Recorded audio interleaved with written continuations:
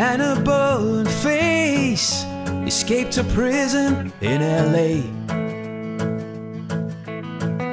They bought a van and some guns, soldiers of fortune on the run. They were framed, no fun. And they say you should hire the A team, they'll soon be on the scene fix the problems quickly and for free using some random products they see. They build a tank from tin beans and they scream. They run from us, but we spill no blood. They're always there to lend a hand. Now pity fools that don't understand. Murdoch's a crazy fool all the time. And Face is the ladies' man.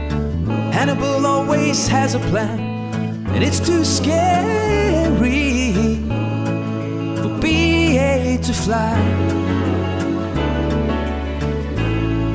For BA to fly.